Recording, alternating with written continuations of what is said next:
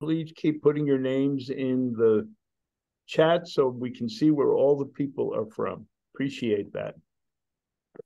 Okay, before retirement, Kathy was a staff scientist at the U.S. National Library of Medicine. She worked on the pro, their PubMed and PubMed Central teams and led the Link Out project and coordinated the PMC International program. But fortunately, she asked me about working with uh, Research for Life at one of the Medical Library Association meetings. And it's been a great, productive interaction. Kathy is a member of the Research for Life Capacity Development Committee. She's been a key member of the Publishing and Research Communication Task Force. This task force initially focused on the need for Research for Life training to expand beyond the scope of using the program's resources. And she is one of the key people involved in creating the six Research for Life's re, six research cycle webinars in 2022 and the subsequent two short courses focusing on writing slash publishing a research paper and funding. But today she'll go back to her roots and focus on PubMed and the updates during the past 18 months. And now I turn it over to Kathy and her slides, but a lot of this will be a demo. All right. Thank you very much, Lenny, for the kind introduction. By the way, it's PRC, Publishing Research Communication webinar series and PRC short courses. Doesn't matter. Today, we're talking about PubMed, which is a topic that I I loved. And because I do believe PubMed is a fabulous database, not because I worked there for so long, it's because I worked there for so long, I know how good are they, how good is the product, and uh, how good are the teams. And uh, I, uh, as I said, I did a, uh, PubMed came out with a very, is a new interface in 2020. And that in May 2020, it switched to the uh, the new interface. And then in July 2020, I did a webinar in Research for Life webinar for um, for you all. And uh, since three years has gone by, and then uh, it's time to share the update to refresh your memory and highlight the changes so that you can continue to use PubMed efficiently. Okay. So today's outline, the webinar will be about 75 minutes, if not less. Um, I'll give about a, a 30 minutes presentation, then followed by a demo session to illustrate the points covered in the presentation because I found it's better this way, go back and forth. Uh, the slides will be available to you. The slide has a lot, a lot of links, which is really the foundation for you to take it back and then study more uh, at when you we you know when the thing is finished. So I also will cover the in a demo. I also will cover the questions some of you provide in the registration. Thank you, and uh and then afterwards will be a Q and A session. So so 75 minutes max, but then we can flexible from there. And so please put your question in the Q and A box, and um then Lenny will uh, monitor the Q&A box and then we'll answer question in the open session. So again, today's recording, uh, today's session's recording and slides will be shared in a few days in the Research for Life webinar uh, session. So to set the stage, what is PubMed? Um, PubMed is a database and search platform of citation and abstract. It is not a full text database. It's just citation and abstract.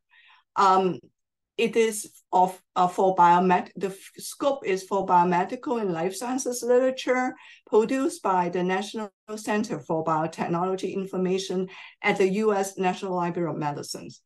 Um, it has over 36 million citation now just change it, but it hasn't updated the interface yet. It still says 35, but it just changed uh, over the weekend, last weekend to 36. And the growth rate is tremendous, The 1.7 million record at, at each, each year. And um, the records, the citation record and abstract records are all always have link not always, almost always have links to full text at PMC, uh, which is a sister program uh, in NCBI and NLM, and also links to publisher site. Uh, has been used by many, many millions of users and conducting over 7 million searches per day. And in addition, it also uh, used by many other uh, databases, uh, literature databases, or other information databases to pull up the records through APIs, uh, more than almost 4 million API calls. So why PubMed is so important? Um, it's because it has it has a very rich history. Uh, PubMed as a searching platform uh, was available freely on internet since 1997, where scholarly journals start growing on going online.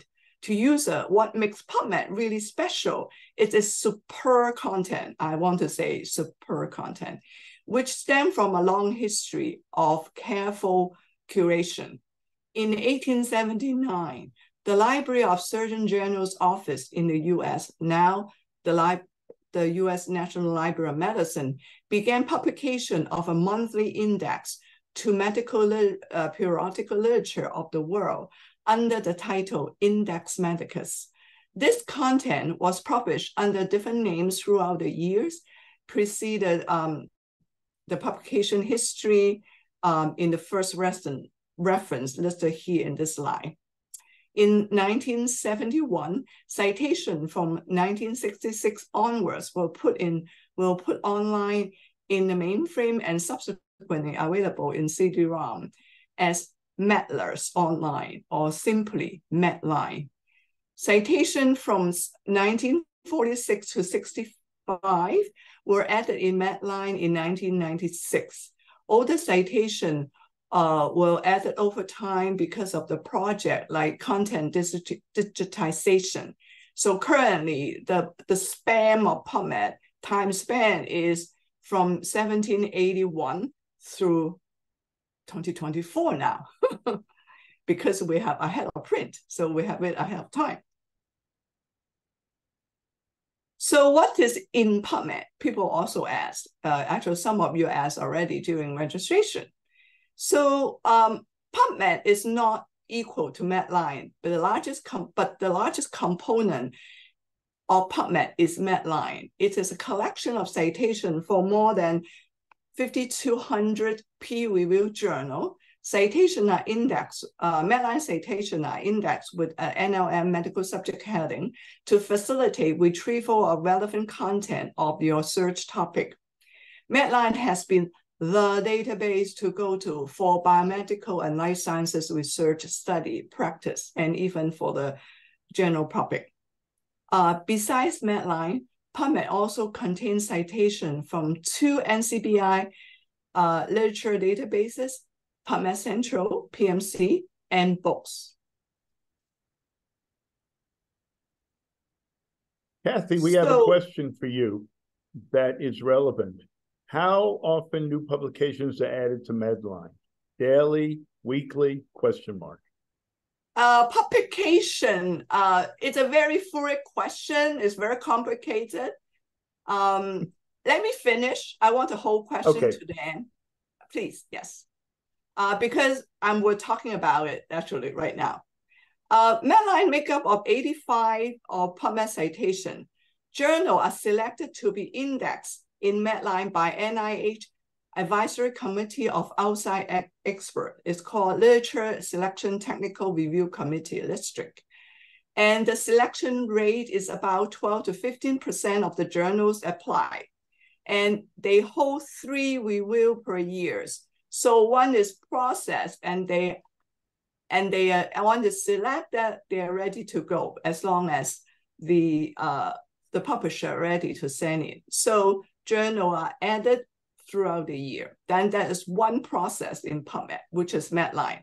Three times selection a year, and that means there's three free period of entering to the PubMed.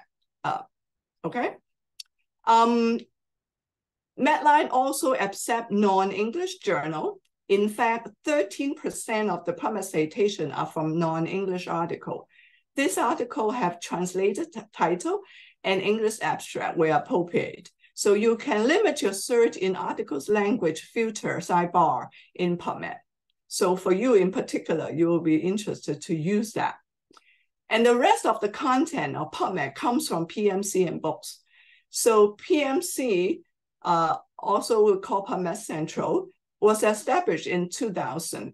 It's a free full text archive of bio, biomedical and life sciences journal, whereas book is a database of selected three online books and document.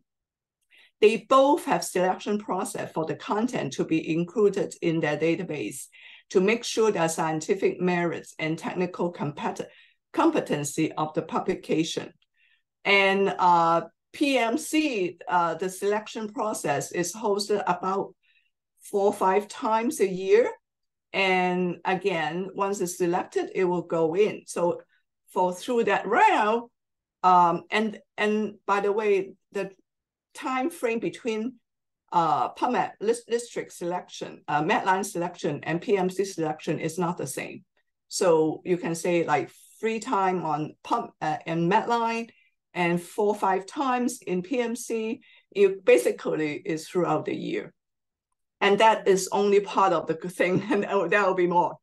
And um, that is for selection, that means it's a complete content. Um, in PMC, uh, most journal put in the complete content or they put in certain level of content, those NIH funded. So or selected deposit. So it's very complicated. I will encourage you to go to PMC site to see the PMC selection process. Um, and then from 2008 onwards, PMC become the repository of public access policy of US NIH, Wellcome Trust in the UK, and other funder. These policy require their grantee to deposit a copy of their final peer-reviewed manuscript of their journal publication to PMC. Thus, the corresponding citation will go to PubMed so that the content is widely distributed and freely available to the public. So about 0.3% of PubMed citation is about 100K citation uh, author manuscript. And there is no, there are no journal selection for this process of this group of citation. So as you can see, manuscript comes in PubMed every day. So, so, but that's not the whole journal, just that particular manuscript. So, so it, it can representation of different journal uh, every day. Um, so, so that's one part of it. And the second part of it, make it more complicated, is starting 2020, under NIH pilot project, PubMed also includes citation from some preprint servers like Bio, bioRxiv. And this scope was for NIH-funded article uh, in, about COVID-19. Uh, at that time, we all want to distribute the information as soon as possible. So NIH decided to run this pilot to attract those uh, the new uh, the new uh, funding in co about COVID nineteen. So this process run until uh, last year, June 2020, uh, 2022, and this year um, NIH uh, expanded this preprint project to include all NIH funded um, research uh, starting January 2023, and currently um, about 12K preprint citation are in PubMed. Um, so I'll show you in the demo how to look at them and how to exclude them. Uh, that is the part that is, is not really published yet. So it, it you have to take care, you have to really know about it. And there are, and then for the books, and there are about 32K uh, citation come from the, uh, the books database. So you can see the selection process here. So um, so after hearing this, then you there was a question in a registration asking how your journal be indexed by PubMed. So the answer is a lot of way and also pretty complicated. but if you want cover to cover indexing, go for Medline and PMC's uh, journal selection. And then in the selection process, there is criteria being listed, uh, both technical and uh, uh, health uh, scientific merit. So um, as I said, the author manuscript is an interesting uh, corpus, uh, even though it's not a whole lot, but um, but kind of change the, the, the Medline, change the PubMed uh, content base. So uh, first of all, uh, because the funding policy of the, the funder, they have a different scope. Um, we include funders from say like um, National Institution of Standard and Technology. So from there, there's a lot of their publication are in physical, electronic journal and I, IEEE, that kind of thing. And also uh, European um, Research Council, their scope is also much bigger. So in this example, from the soil organism, uh, obviously it is not a traditional health sciences uh, journal. So in PubMed and PMC, uh, it will listed as uh, author's manuscript here, so you can look. And also another way to find out is from the search, click on the title. If you find that, oh, this is not a traditional health sciences journal, then you can check the search uh, NLM catalog and then pull up the NLM catalog. You can find out what is this journal. So you can say that, okay, it is an author manuscript in PMC only. So it's not index cover by cover, cover to cover. And, and also um, the collection stated is not really an NLM collection.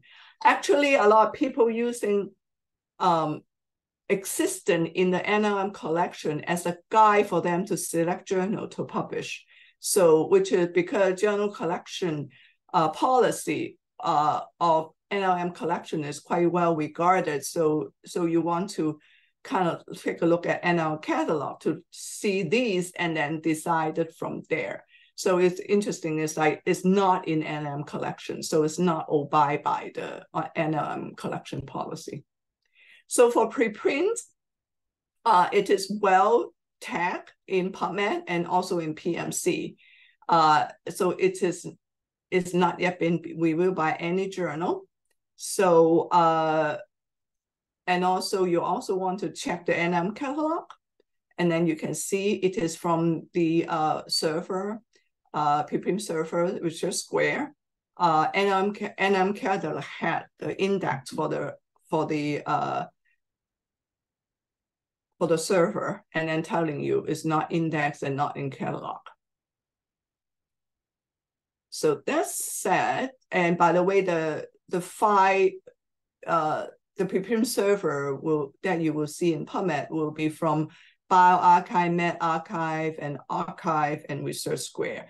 By the way, uh, individual user cannot submit uh, their preprint directly to PubMed. It has to go through this one of these five um, five uh, archive because they do it uh, efficiently.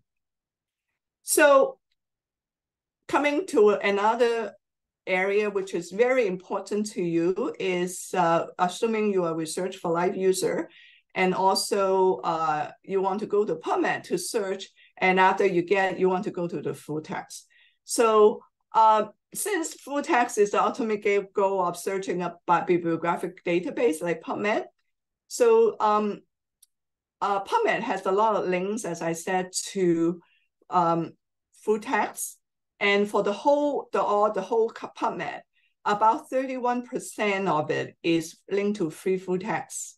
Uh, uh, and then the, the rest, uh, 44% is is a tax that you probably need to, to pay, and then 25% without any full tax link. That is including uh, whole PubMed, which is from like 1800, as I said before. And then for those published from 2010 on for the past 22, 23 years, and 49% have links to free full tax. So kind of reflected what the open access movement changed. And for you, Research for Life user, you're you're in good luck because uh, thanks to Research for Life program, access to uh, food food text, which is uh, behind the paywall, uh, increase for you. Say, for example, in this for all PubMed, uh, in addition to the 31 free food text links, 31% free food text link uh, available to everybody, Research for Life user will, will have 35% more. So that would be 66% for the whole PubMed citation base. And then whereas for 2010 on, uh, the, the number increased uh, to, um, let me see, to like 88%, isn't it? 84%, so 49 times 34. So by all means, please use, uh, if you're a Research for Life user, you have a login, by all means, please uh, log in to use PubMed from Research for Life. So uh, I just show you and I'll show it in demo here. Uh, so how do you go to PubMed from Research for Life? Go to Content Portal, uh, go to Database and click P, and then you go to PubMed, and then what you know, whether you are there or not, is you can see the uh, the URL changes because they're going through your Research for Life instead of PubMed uh, .ncbi directly. So I'll show it in the content in a demo. Um, so what you will get is that you have a filter on the side. Uh, it's still called Hinari, but actually means research for life, and which you can use in the filter bar, which you can narrow your search directly from there. But because the Hinari um, filter doesn't include FIFO text, so you want to use both you know, both use both the free food text and Hinari as well. And also in the abstract, you will have a research for life icon, which link to 360 link, and then you can you can access full text from there. So this is an example that in the MPG, you will have problem in accessing uh, the full text directly, but go through research for life, you could. So um, since 2020, uh, the changes, and there are a number of changes, uh, small tweak, I would say, um, to the PubMed uh, interface and functionality. And I listed here, and I listed all the links where you can find more information about each functionality. And I'm going to show it to you in the demo, each one of them. So I'm not going to do here. So um, there are other policy-wide changes which will uh, affect PubMed in the coming years. Um, one of them is very important. I'm very excited. Really, will uh, we uh, right now the uh, NIH um, public access policy has a one-year embargo, and then uh, the U.S. Uh, Office of Science Technology last year they they have a memo and requesting their funding agency to update their public access policy no later than to the, uh, the end of 2025 to make the publication and supporting data resulting from all federally funded research publicly accessible with, without an, an embargo. So it's a game changer. So watch out for that. And I know that there are there are other, there are a lot of talking going on, maybe some some legal legal thing going on, and but it, it is some something worth uh, keep an eye on because it will increase the uh, access to the free food text from PubMed and data actually by that uh, dramatic dramatically in a few years. And then in this year, the NIH data management and, and sharing policy also changed and and expected to uh, for anybody seeking NIH research funding, which might include you, because NIH research funding actually open to researcher for researcher worldwide. Um, so you can you have to put out a research uh, management, the data management plan and the sharing plan. So after you put it in, you will have to uh, uh, uh, comply with it. So not just put in a plan, you have to actually see it. Say, for example, you said that you will share your data uh, how many days, how many period after the research is complete, and you have to do it. So uh, that's a part of the funding requirement. So going both way, one is the first one is the publication only, but you share the data after publication. Here is you might even share the data before publication if you describe it that way. All right, another noteworthy changes is on the searching, which I also show it to you later. Uh, life uh, is proximity searching. And a lot of people said that, oh, PubMed uh, ne never really have phrase search, really phrase search, and proximity search. And this year, we come up with it. so it's really good. Um, so it's relatively new, very exciting, and hopefully will improve your capability. But by all means, this is supplemental. It should not be used as a first pass of the search. It will, I'll go back to the searching best practice. PubMed NLM never suggest you to go with this kind of search right away. You should, unless you're doing finding specific item. So for topical search, you really should kind of explore it first. But that's our touch base. But for the proximity search, you can uh, enter search in multiple term in any order. By the way, it will not, you cannot specify the order. You, you specify your search term in any order and they will search in any order. You cannot say, I have to do hip pain. I don't want pain hip. No, it doesn't work that way either. So any term uh, any number of term here in any order. And you specify the field that it is you want to search on. Uh, for now, only title, title abstract, and affiliation field. For affiliation field is very interesting. It is just added, which is very important if you want to do bibliography for your organization. Uh, how to do in PubMed is through affiliation field. And then as you know, people put in, there's no control vocabulary for affiliation just yet. So you will have to, you can use it to kind of put, to catch all. So like putting in any order, in any variety of form of name, then you can catch them all. And then n is the distance, uh, is the word, number of words, not a number of character, number of words that appear between term, the search term. Uh, for affiliate, uh, it's between zero to n. For title and title abstract, the n is unlimited, but you will see why you do n is unlimited because it's more you do is just it defeat the purpose of proximity searching. But for the affiliation field, you can only do n equal uh equal or less than one thousand. So uh, this is an example. We'll do some something, you know, we'll do some demo. So uh, this kind of search will turn off automatic term mapping, which I'll touch on, and it's not compatible with terms like uh, truncation. Those are limits. So that's why I said it should be, you use it for refine your search rather than as a first get-go unless you're looking for a specific item. And you can combine the search with other terms and other search actually with Boolean operator. So here's a list of reference and including tutorial and stuff. As a matter of fact, today there's NLM uh, update in the later uh, today.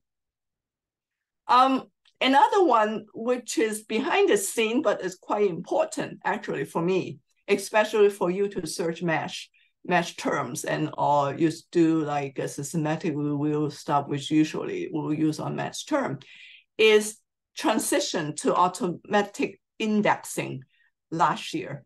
And right now, um, it is a long process. NLM has been using, uh, the MeSH indexer has been using uh, some AI algorithm to help them to index all along since like 2010 or so. Uh, but since last year, it's all automatic.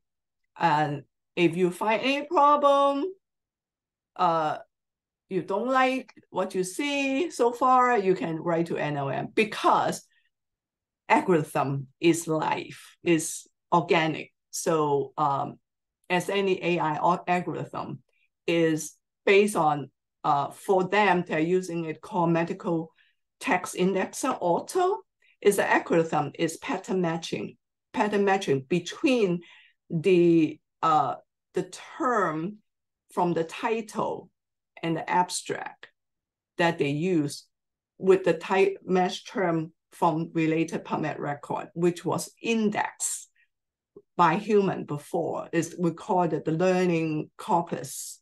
So that has a lot of tricking. It could treat all the time. So your feedback is actually helping them to improve the algorithm. The reason why they need to do it is that they want to provide uh, MeSH indexing for Medline citation within 24 hours after it appears in PubMed. So PubMed um, citation in PubMed actually like twice a day. It's millions of citations. That's horrible. I mean, no, I should say horrible. It's so fast, and it come in and it's go. Uh, it. I think they they switch the production database to the staging database at least once a day, sometimes twice a day. So citation comes in very quickly, but they're not indexed quickly. And in the past, sometimes some citation, some journal, which is not highly important, could like months, could take months for them to have MeSH, MeSH indexing, which is not good. So with the automatic indexing, it it really turned around really fast. And I look at it recently, it's really fast. So it's really good for searching, actually expand the uh the things. Um, but one thing is right now they use the the algorithm using uh title and abstract, whereas in the past the human would go to full text. So um, there might be change in the coming years, and because they're a publisher, allowing NLM to use their full text, even though they are not free, freely available, they will allow NLM to index. So I think there are some major publisher like Springer widely allow them to do it. I'm not surprised Elsevier will be in it too. So, but anyway, the, that's down the road, but that is something to look for.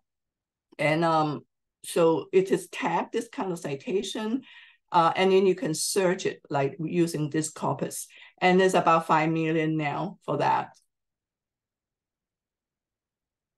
Oh, by the way, the author can also, uh, if you want to suggest MeSH term as an author, you can try to put it in a keyword field um, so that the you can if you know the MeSH term you want your citation or your full text to be indexed under, you can put it in the keywords because a lot of publishers allow keywords and you can use the MeSH term as keywords, then it will be picked up because it's an abstract and and the and the yeah and the citation. So those so those will be picked up. So that's a way that you can kind of inform NLM what term you want to use. Um, uh, coming back the search in general. So um, in general, uh, we we want you to the best practice um, as one of one of you have asked the for NL suggest by NLM is that you want to be use specific concept because PubMed is indexed or Medline is indexed in with a specific concept. So um, say, for example, if you're talking about breast cancer, use breast cancer, do not use cancer because uh, it because of the medical subject heading, it's a tree light. You don't want to think which is irrelevant. So, and you want to save time in your search. So uh, no punctuation because it will be thrown out and no, no little operator because uh, the the ATM process will process it, capitalize, and then there's some phrase searching. And if you do all these, it will turn off the thing. So let's PubMed do the work. So um, there's a lot of little AI algorithm going on in PubMed all along, you know. It's just not generative AI like ChatGPT, but it's just helping the process. One thing of it is citation sensor a lot of people search PubMed to find a specific citation. So if you know of any particular uh, uh, citation you want to find out in PubMed, and then just plug in the, uh, the citation element, like author last name, the journal name, the year and uh and some subject if you want to, some subject work you want to. Uh, but I think uh these are the three terms that you should use. Three aspect of time to use it use, and then will trigger the citation sensor because the citation sensor will pick that up. Um, the algorithm will pick it up. So once it's picked it up, it will be replied by this in yellow up there and saying that you found citation with three uh, with citation matching, then you can select from there. And of course, your rest of your search will still listed down below. Um, another frequently used search people use PubMed for is search by author. And uh, the most comprehensive of search by author name, first initial, uh, because PubMed has a long history or Medline has a long history.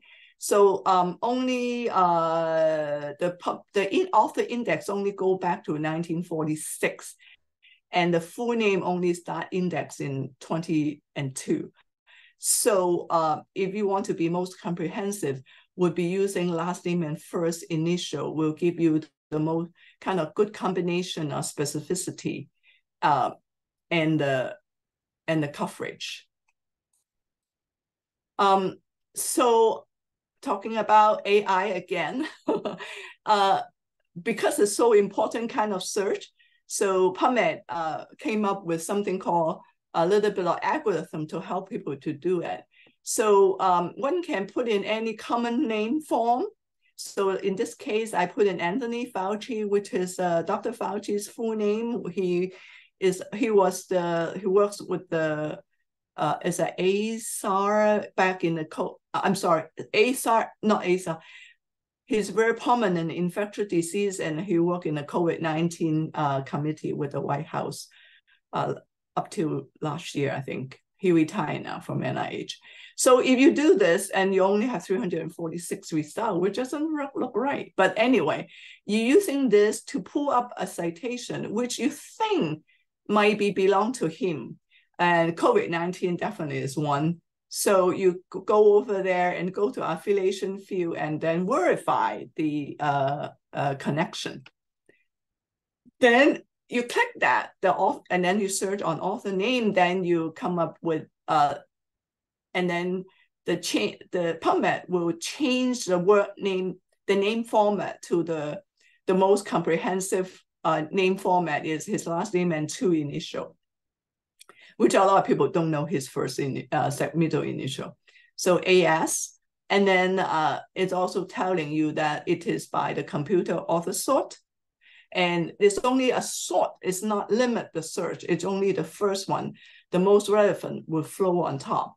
And then uh, it will sort by computed author, and then uh, there won't be uh, the timeline available in here, which usually available in uh, PubMed. And, and this is the result. And the other very important thing would be the search or uh, detail, which is um, we when when you put in a search into PubMed, it will kind of pass it from left to right and throw out uh, stop word and punctuation and normalize it uh, with lowercase anyway, so don't bother with upper lowercase. And then we'll translate, um, then it will kind of put your search term through a automatic term mapping process if you don't specify field. If you specify field, and will stop all those process.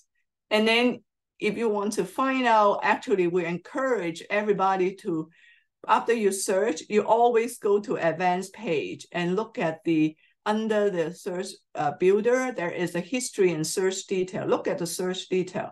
You can see in this case, go to the detail, you can see uh, there's a warning because they throw out the stop word, the word in here, and then translate the two concept into both the MeSH term and also developing countries term. So in this way, you don't have to know uh, which term is MeSH term.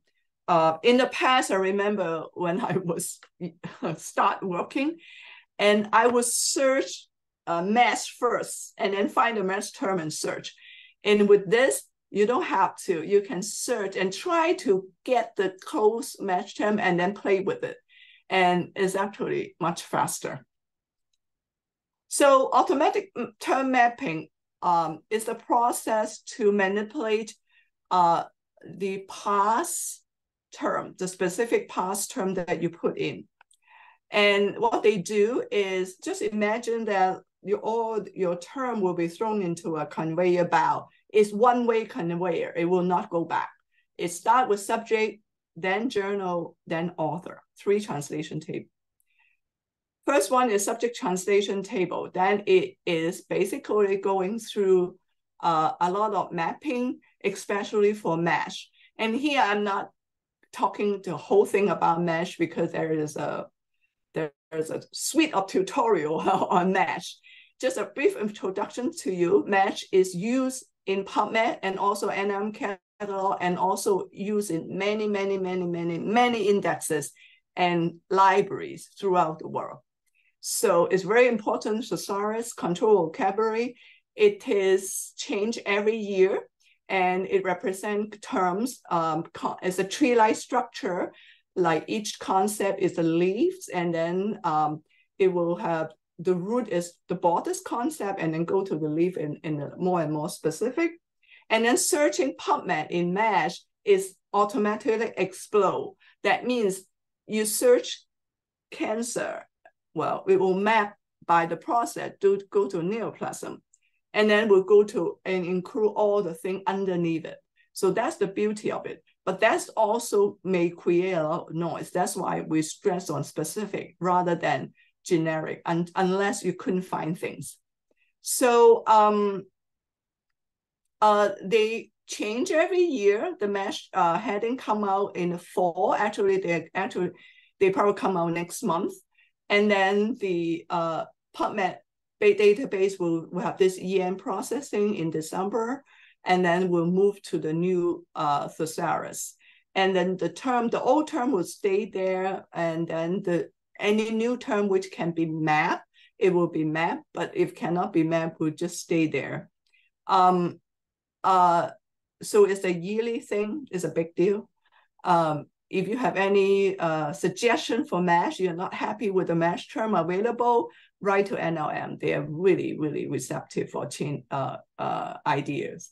Um, so uh, in this uh, term mapping, they also will throw out, they will map the uh, singular and plural term, and then also take care of American and British English, and also map the drug brand name to generic term like Lipitor versus the um, atorvastatin.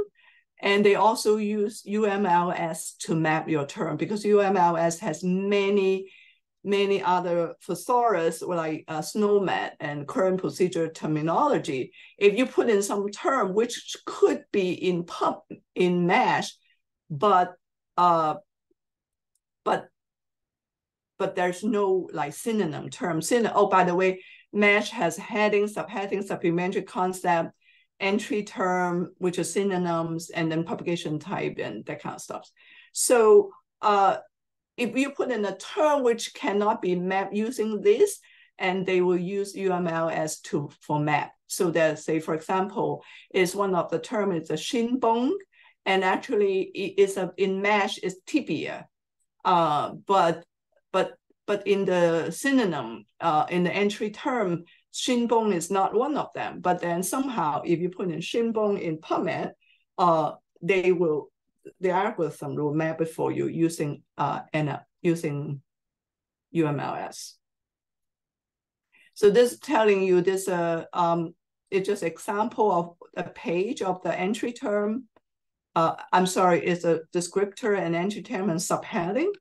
And also telling you another group is called supplementary concept, which is will be update year uh, throughout the year. It is used usually to use to catch some chemical names and uh, drugs and uh, rare disease and that kind of thing. But in COVID-19, it really helpful because COVID-19 kind of appeared in the middle of the year. Um, NLM could not catch up in the MeSH, um, in the MeSH. So COVID-19 was the supplementary concept for a long time. And then now, some uh, the COVID-19 breakthrough infection was the supplementary concept, but then in 2023, for the 2023 MeSH, they decided instead of make, promote this into the descriptor, the main term, they decided to break it into two concepts, like COVID-19 already in the uh, main concept, and then the breakthrough infections. So what you do, you can combine the two terms, but they still use, keep this as supplementary concept for backward compatibility. The second uh, stop would be the, the journal translation table, which basically for people who do uh, citation search or like you want to pull all the journal together. So all these form, by the way, uh, the Medline title is 5280, but PubMed, uh, the translation table consists of the like 40,000 uh, journal title. This link will tell you, will show you that. And 44, 40,444 right now. It because PubMed, as I said, in what's in PubMed is actually there's so many like author manuscript and stuff. There's actually many, many title there. And the third one will be the author translation table, which I talk about a little bit, but then I uh, just want to highlight the investigator uh, index, which is uh, available 2008. So, um, so in this way, the collab collaborator and investigator, which is not the author, can be acknowledged as well. So turn off uh, ATM is by doing quotation mark, put on search tag or use the advanced builder. So um, I want to highlight a little bit before uh, proximity searching coming along, uh, PubMed can have some sort of phrase searching, but the phrase searching is not really, is using a phrase uh, index, which you can see, you know, in title abstract, chest pain, you can see the how many terms are there. So we always encourage people to go to Advanced Search Builder. If you want to do a phrase index before you search, you search here first. Look at it here first and look at the index to see how many are there to really worthwhile to use that term or not. So, uh, but uh, NLM also very receptive for adding phrase and because things change, so you can ask them to, how about using this phrase and they will add, add it to the phrase index table. So mm, uh, going to, and then I am running out of time and basically this is PubMed homepage is very, has a lot of material uh, about user's guide is superb. And then I just want to point out here, clinical queries is utilize the filter that pre uh, put out by ex expert and then um, kind of like uh, categorize some popular searching in uh, in in uh, like COVID nineteen uh, for PubMed, like cancer, rather than going to the big database and also have those in you try to build something, then you can use utility and that kind of things. And uh, to keep up with PubMed, use the page uh, Newsworthy, subscribe to it, or just subscribe to the technical bulletin. Technical bulletin has a wider scope, including any NLM stuff, but PubMed change is always there. So do this, you might get more noise, but do this more specific.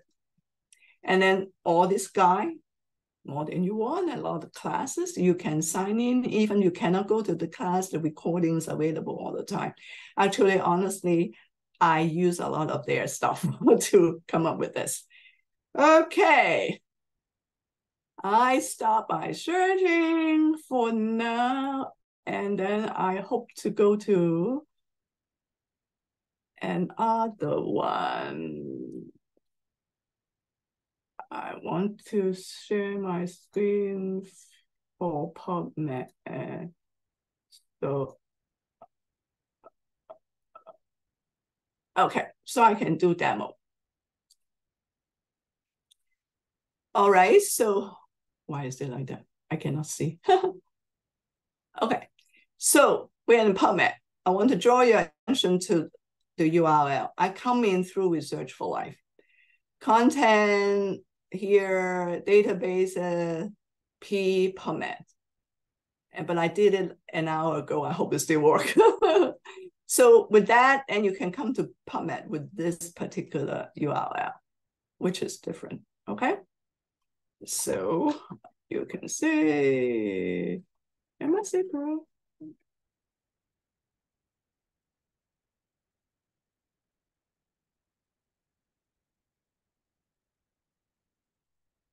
Yeah.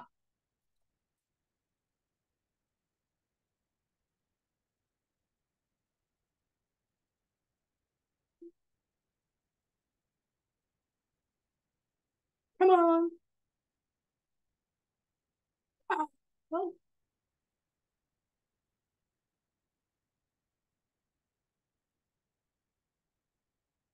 Something wrong? Hmm.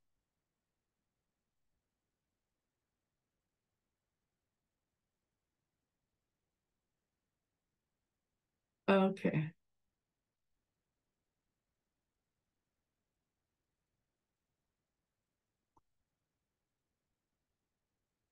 What should I do? Oh, oh, I mean,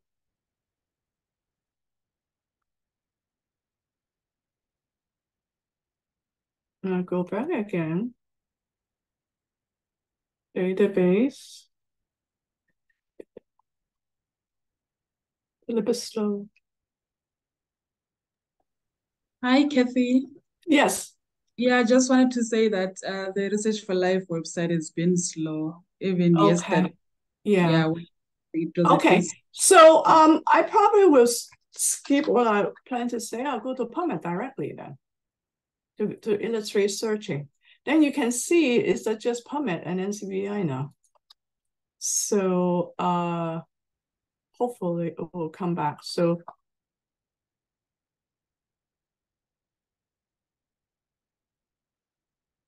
just want to show you the and actually I would like to even sign in through um to my thing because I can mimic mimic the the usage. Yes, you see, I sign in because in my NCBI I can im- mimic, I can activate the filter. This is just filter, and then uh I can pull in icon. So this is just like it. I'll show you how to do it later. So um, so here I want to show is advanced. So this, go to advanced page, and uh, so oh yeah, so you can see the warning and how the term are being interpreted. And the beauty of it, you can cut and paste. You can copy this.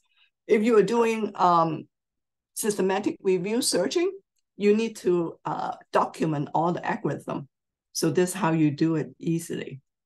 And I also show you uh, if you want like title abstract, this is all the thing that prompt. And I want like uh, I was just doing the term. So I want to see whether it is a good phrase that I can see show index. There's a lot. But this is breast cancer. But then if you do it, it's 339. But if I do, if I do breast cancer here, which which I didn't tag it, then I do a search, I will just add to history instead of going back and forth. Then uh,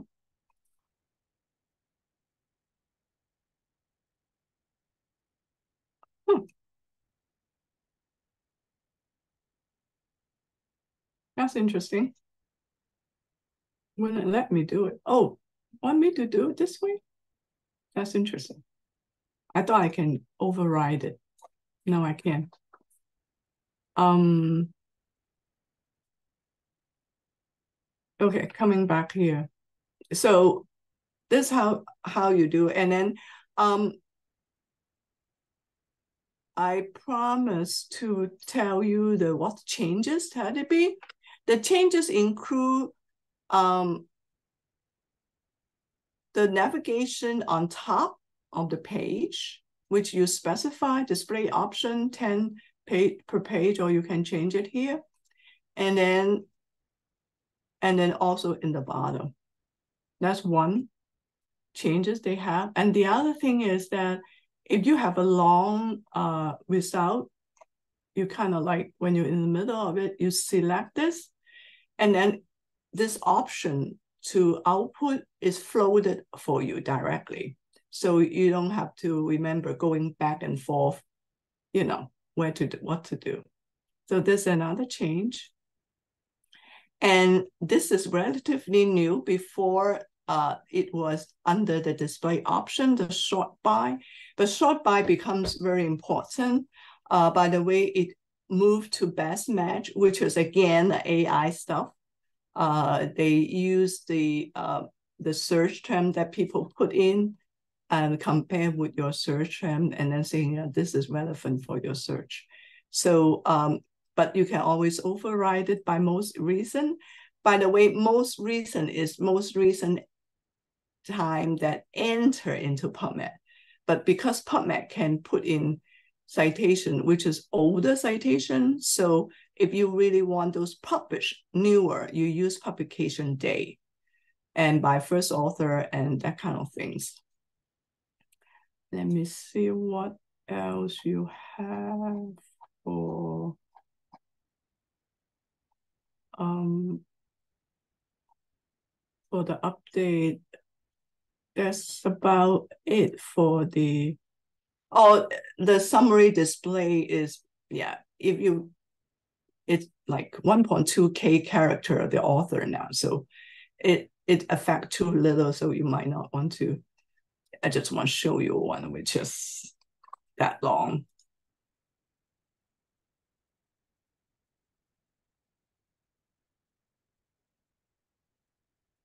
this is the mm-hmm, I know it's my still. Yeah. It's like on and on and on and on. You don't want to see it. By the way, this is not, um, it's in the summary. The truncation is in the summary, truncation to 1.2K, but this is abstract. So, and I cannot select abstract here because because it's just one citation by default is abstract. Um, Okay, for functionality, I want to show you the filter. The filter is very important in PubMed um, because you can really tag the changes here. Uh, before, a lot of people like uh, uh, the core index journal, uh, the nursing journal, and that kind of thing. At one point, NLM support those.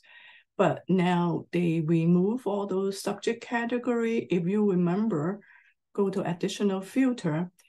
There was a time there was a subject here to kind of um, select a group of journal, but they removed it.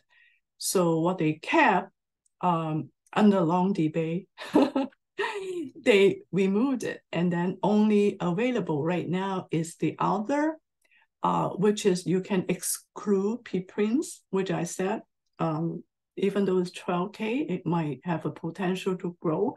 If you want to remove all those uh, not peer review journal, which is not going to be, may not be published, so you can use this.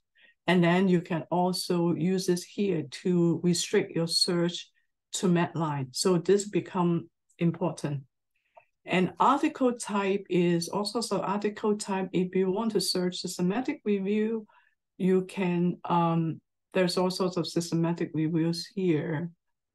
I think.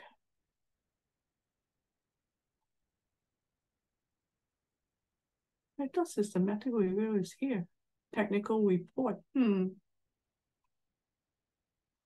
Oh, systematic review now is already rise out here because of importance the the article type, which is always very highly used are up there, and then additional filter is in addition to that. Um, species, some people like do human, non-human, and that kind of thing. Just, and by the way, you select here just to show it, and you still have to select it. article language is one which is good one to use for limit. And also if you're doing search for uh, like uh, Spanish, some group, then you want to search it. By the way, I already said this, about 13% of PubMed citation is from non-English. And actually PubMed Central right now is taking in journal, which is in Spanish as well. So if you want to enter PubMed, and you can enter through PMC, and PMC taken um, before for a long time, it only take English journal, and now they take um, they take both Spanish and English. Um, sex, age, other. So these are the, yeah, those are, these are the other. Yeah, okay. It's a very interesting, uh, actually, some of the surgery you gave me, and I'm actually using it and I can really tap into it. By the way, as I said, it is not gonna, it's not gonna activate. You you click it, it's gonna just show it here. So that's it for for the changes functionality. Okay, proximity searching. So we can do this. Just take a look. And I have no filter. I clear selection, exit, do it here. So I'm this is one of the example because it's new and going to affiliation field. By the way, in the slide, for the title, um, for the field name, you can use full name like affiliation, or you can use AD, it's the same, which is ADTA, TAIAB. It save you a lot of typing. So you got this, then you cannot really see it because in affiliation field, so you go in and then go in affiliation right here. Then it's Hopkins, Bloomberg, Public. So I think is in this case, they are looking for the Bloomberg School of Public Health uh, in Johns Hopkins, but they have no idea how would it appear because I said affiliation, there is no control vocabulary. I know ORCID is trying to come up with this. They came up with this organization ORCID, but as I said, even searching author, uh, there are not that many ORCID. If you search author using ORCID ID in PubMed, you miss a ton. Basically, don't do it at this point. I mean, it, it is it's just to them illustrate a point, but but it's not going to give you comprehensive result. So in this case, uh, somebody want to search thing publish, um, doing some sort of profiling for the school. So they they're saying, okay, Hopkins, Bloomberg, Public. So thinking that this will cover, this should be there. Um, then then you do they do have a pretty good result. So you can see all those terms are everywhere. And then if you do um, hip pain,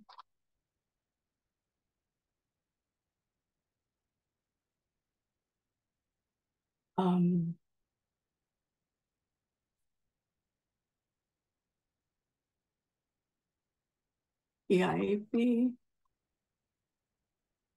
and I want zero. I don't want any changes. I mean, I don't want it um word in between. So I got hip pain, hip pain. Hip pain mostly is good, but I might got pain hip.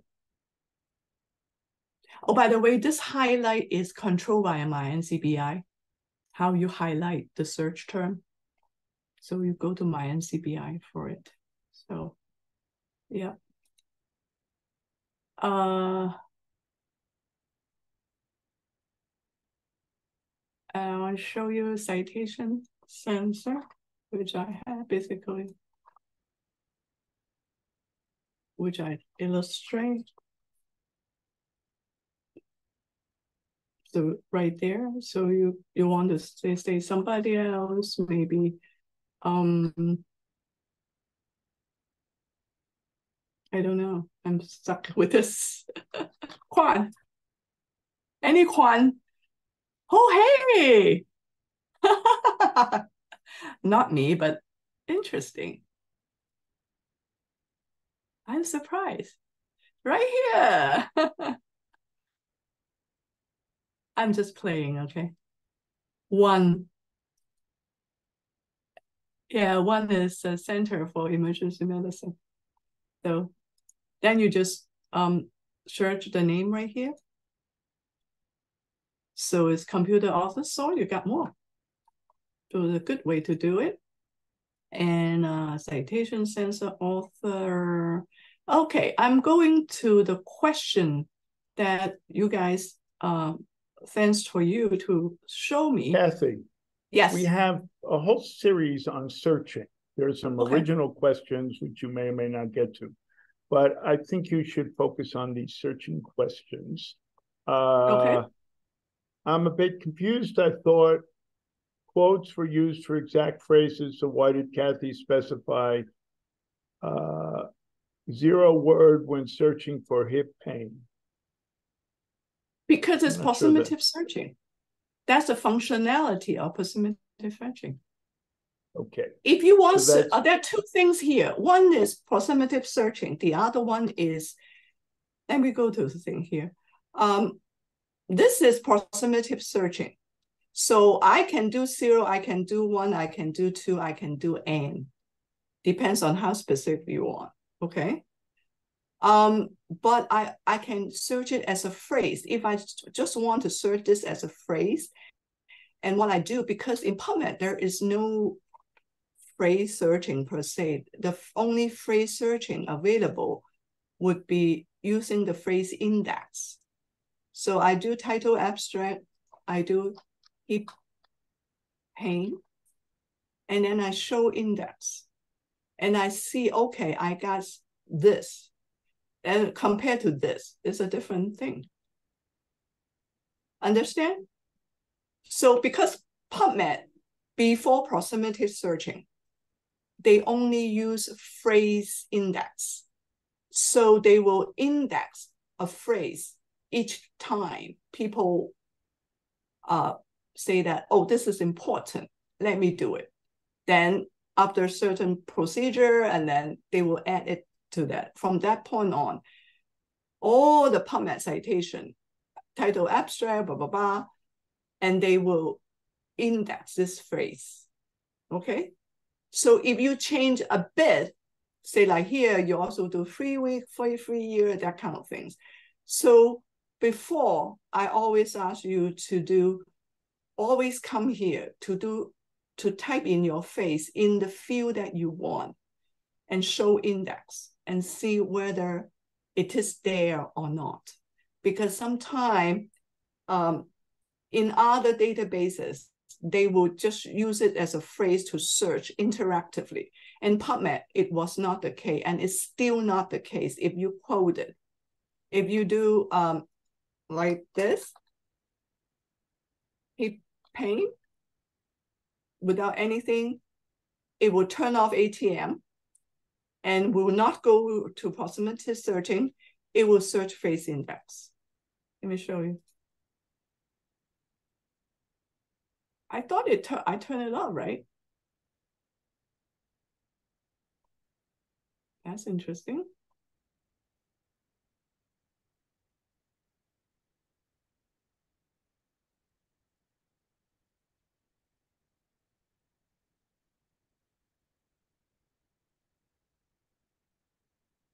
So now it doesn't turn off. Let me let me go back. There's something not correct.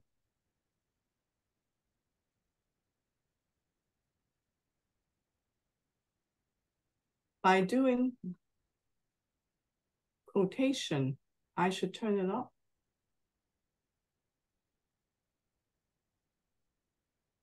Okay, now it's good. Now it's now it's 705. It is the term that I, I saw in show index. So apparently, if I do it here, it might kind of confuse because it looks like it kind of searching as if I'm doing kind of remember me doing this. So maybe you need to clean it.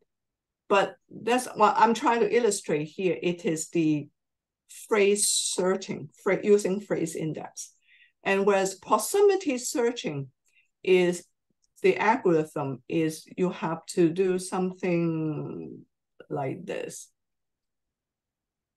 I'm going back. This is the algorithm. And then I can do one or two that make it more inclusive. I will change the result. Well, at least, I mean, from zero to two, actually. So the zero, you, know, you can see double the, the result. So, so did I answer the question? There's a related question here. Can you mm-hmm. search multiple term with proximity, e.g. hip pain management? Uh, what do you want? Pain management? Hip pain management. Then how many term you want in between them? Two, three, uh, zero, one. Because remember, this is not a phrase. So it could you could come up with management of hip pain. You can come up with hip management pain, pain management hip. You know, it's different from phrase searching. It's proximity searching in any order. Yeah, I I really running out of time, and I think this is relatively yeah. new. I really encourage you go to the slides, go through the tutorial, and they have a lot, NLM has a lot of tutorial, uh, interactive on-demand tutorial about this. And basically, the main thing is you don't want to mix proximity searching with phrase searching. Phrase searching in PubMed is searching phrase index. It's only for certain index, certain phrase. If you want more phrase to go in, tell them. If the proximity searching and then you you can come up you can do 1,000, well, 2,000 actually. There are a couple quick ones you might be able to answer. Uh, mm-hmm. Sometimes when you add many filters, you don't get any results. How do you deal with that? And there's one about can you search Remove for filter. articles? Excuse me. Remove, remove filter. the filter. Mm-hmm. Yeah, remove well, the filters. Well, in the, in the question you sent me, actually, um, I think generically what you do, you type in your search, um, you first identify key concept, specific concept, and then just type it in, in, in random words. Don't do a whole phrase because they will have to pass it anyway. So, and then try to be specific what you want, and then and then look at the result, and then try to uh, look at the term the in the in the research, and, the result, uh, the match term, and also uh, pull out some article that you see, and then you build from there. So that is a, the practice that I would do, and that and a lot of people would do. And if there's too many filter, you're basically killing yourself, and then you just release it. Releasing is not not as important. It's just like in searching. If too many things. There are a couple of people talking about, oh, I put in all these, but I have nothing. Then you just release it, release it to be like, uh, yeah, we release it so that, yeah, searching so that it will improve it. And some of the term you you can use filter to uh, instead of searching, you can use filter. Say, for example, uh, the the uh, the certain disease in dog, then you come up with, you know, elbow disease in dog. Then you you put it, go to advanced page and go to result and select a match citation, and then uh, and then look up the match there. I found out the advanced page is very good for looking up at match term which if you don't want to to um, look it up beforehand. Okay, uh, this one I think is a quick answer and then one that's impossible. One is uh, the questions it together. Can I search articles from one journal in PubMed? And then they ask for a demonstration on conducting systematic research for systematic reviews, which I don't think you have the time for. But if you no, actually, on... I'm not an expert on that. I refer them to the webinar last last last month. That is systematic review. Go back to the web, uh, the Research4Life page. Look at that webinar. That's a great. Yeah, webinar. there's a, I learned a lot. There's a good uh, video and a good uh, presentation yep. right there. Right. Right. Uh, and by the way, PubMed is like one of the must-do database for systematic review because it's available and because it's very transparent because of the search you really they really tell you what they do with it. So that's really important. To document the the search step that you go. Searching a journal is very easy. And you just go to journal field. Do advance uh journal. Type in a field Science, New England Journal of Medicine. You first, you want to show index again to see which one is a correct term and that kind of thing. Oh, by the way, they just change it before uh, they don't index the uh, article, the, and before like New England Journal of Medicine and the New England Journal of Medicine make different result, but now they know, so so it's good. So like here, phrase index, good. So you can just go back and then just just search it. Okay. Here Would it still be effective to search using the entire topic? And I think you answered that. It may get too complicated and then you have to simplify it. Well, it is, you have to specific, be specific.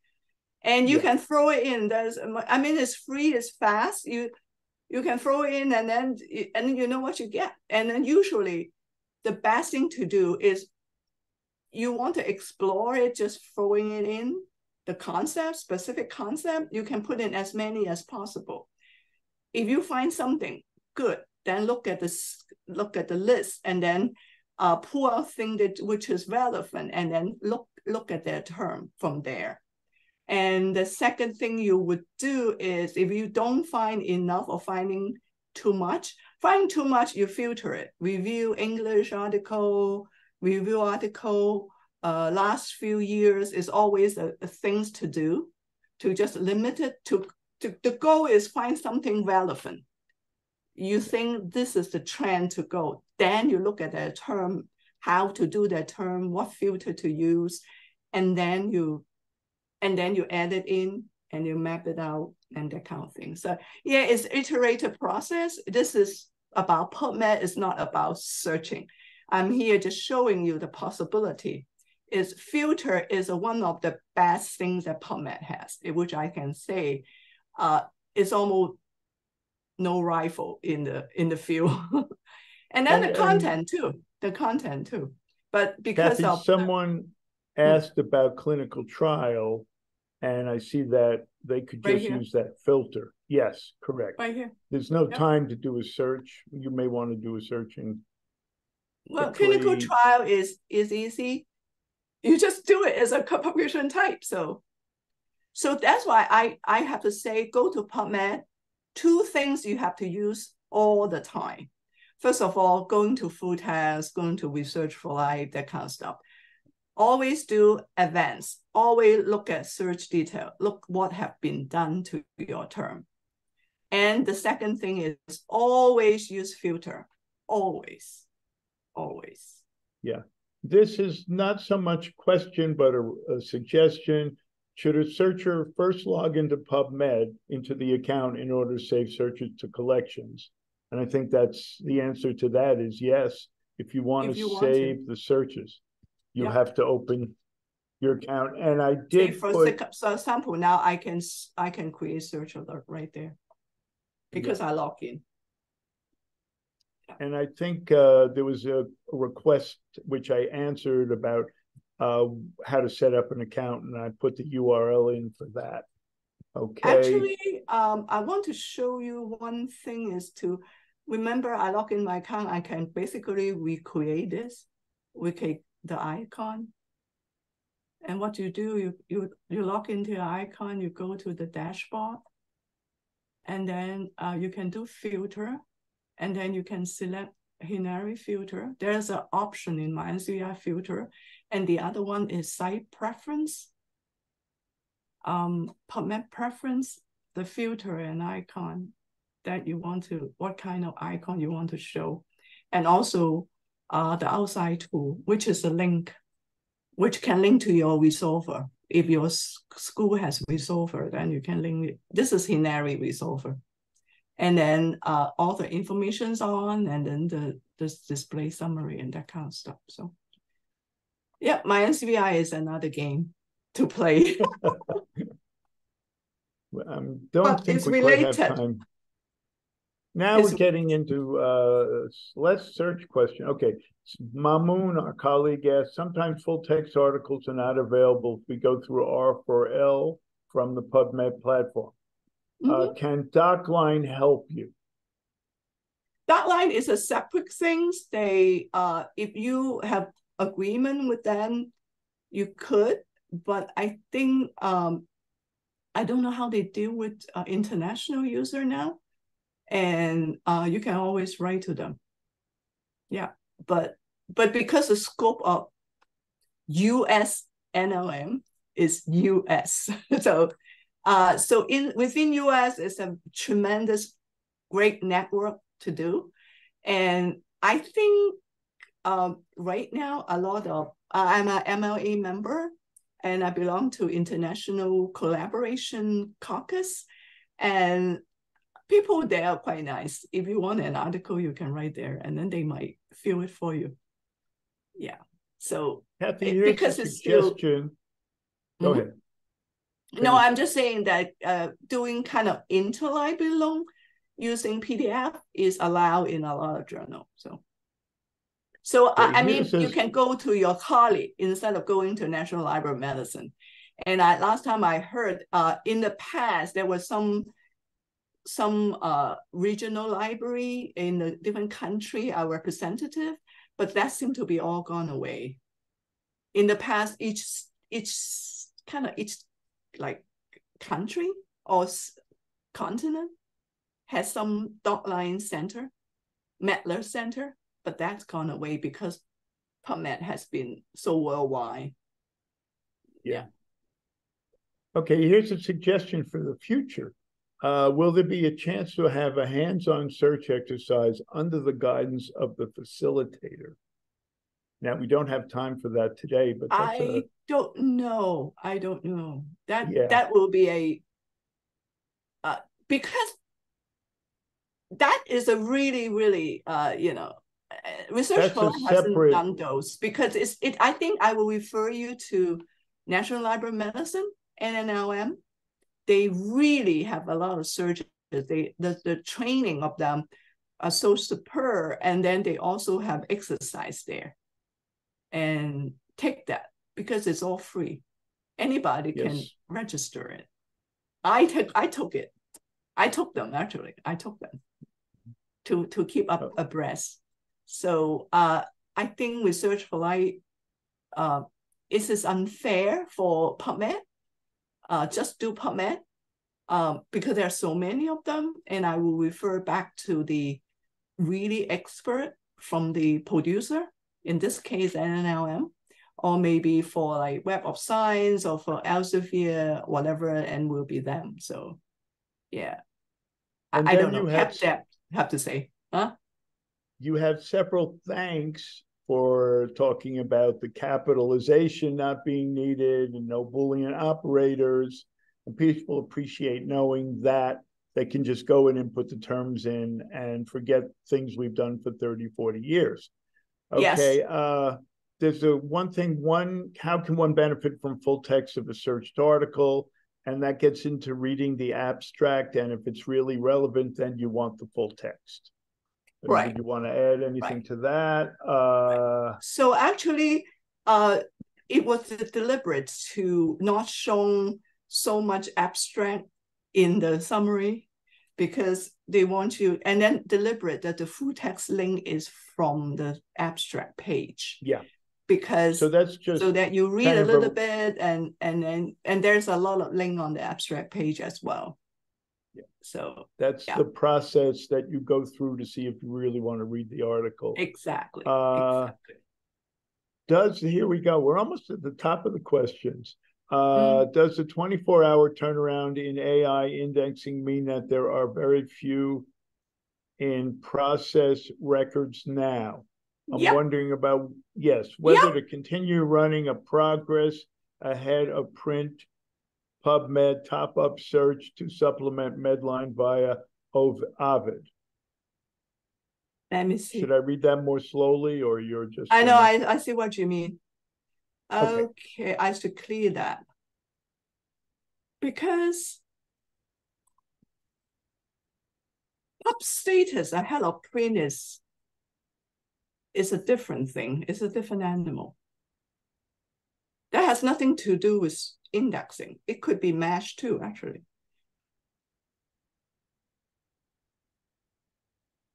Do you know you can do all this? You don't have to do filter, you just search it.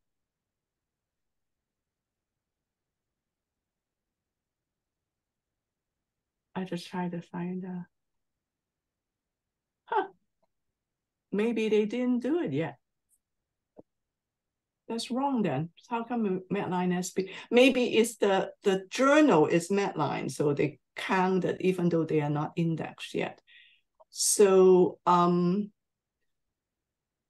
in process, in process, how is it pub status in process? I don't remember. I'm sorry.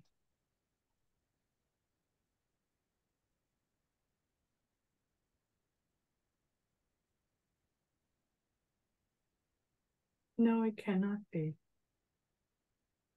Okay, there's one uh quick question from the beginning from our colleague Mamoon, uh, who Mhm. says it's very, in- what you discussed is very informative, informative to him. Is PMC allowed to accept manuscripts from other international funding agencies? And I think the answer is, to that is yes, because you did mention some other funding agencies. For accepting funding agency has to have, is go through PubMed Central International. And at this point, there's only UK PMC and Europe PMC, uh, the sponsor. So it's only funder, uh, support by them. Because it's a lot of process to do that. It's not easy. And, um, because of the resources available. At one point, we have we have Canada, but Canada couldn't keep it up, so they withdrawn it. It is uh, the PMC do it. PMC do it for U.S. funder, uh, or international funder, but then uh, Europe done by Europe PMC. And then at one point, Canada has it, and also there are talk about Korean and that kind of thing. But but but those are very uh difficult process to set up a PMC in another country. So um no, I don't I haven't heard anything about it. Okay, well, we have gone. The other thing you 90 could do is to get NIH funding. It doesn't have to be US researcher. NIH funding goes to, you'll be surprised how wide they go to. Okay, well, we, as I said, we're at ninety minutes, ninety-one Yep. minutes, and we appreciate the overview, the demonstration, and the answering of some very interesting questions in the Q and A that I could, we could just not reply to the person. So uh, we want to thank you. I appreciate all the participants that stayed with us through the end. Yeah. And this will be available very soon on the webinar page, both the video and the presentation. Yeah, Uh, uh, again- do look at the presentation. There are tons of links there. And and actually, if you want to learn, is starting with those uh, uh, uh, those classes that I've been quoting. Uh, I basically put links on everything. So So it will be your study material, reference material in the future, should you want to know more about PubMed and uh, everything actually. And that for that matter, PMC. Actually, by the way, going through PMC is probably a lot of people kind of thinking is probably as a better way or lower bar to go into PubMed. A lot of people. We should stop recording. Don't quote me on that. Because the uh, the PMC uh, PMC does require XML full text submission, whereas PubMed doesn't. But now PubMed always do uh, the citation submission as a requirement for going into Medline. So go, you cannot really, if you want to go into PubMed, doing electronic submission is almost a must. So actually you guys were talking about the um, journal, JONL, you know, those kind of thing. Uh, there was a, a project, is African Journal Partnership, and that those journal going through going to Medline. And they always kind of start with PMC. So, I mean, if you are a journal, like related to a journal, you want to get into uh, PubMed, uh, you don't want to just go to Medline and PM, look at the PMC selection process. Then you will know. Then, you know, it's actually a lot of people did that. All right. Thank you, Kathy. And please follow up with the suggested links she has, because I know she has listed quite a number that would uh, enable you to go beyond just listening to the webinar here. Appreciate right. it. And uh, as I said, look at the webinar page of Research4Life, and everything will be there very soon, we hope. Usually our turnaround is pretty good. So yeah. thank you again for participating. And Kathy, thank you for, uh, we all learn so much every time you present. That's the truth. Yeah, I, I, I, enjoy it. It's uh, yes, you, you do. And then hope that it will learn something. That's right. Yes, all we right. all learn something, and we appreciate your time and the detail. All right, okay. good. Thank you, everyone, and we're going to sign off here. Thank and, uh, you. Uh,